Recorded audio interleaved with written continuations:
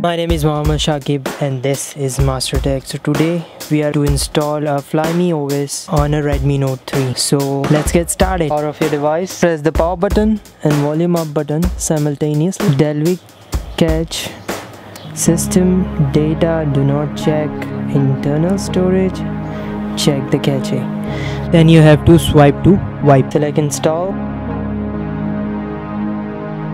after installing the ROM you have to just hit the reboot system. Button this is the Flyme OS boot animation.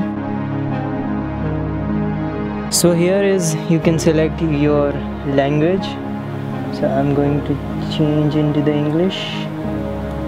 Here is the English in so this is the OS which comes with uh, Meizu Meizu devices which are popular in China and also in India so here is the ROM. Flyme OS as you can see this uh, let me check. This is the version of Flyme OS the device is running on 5.1.1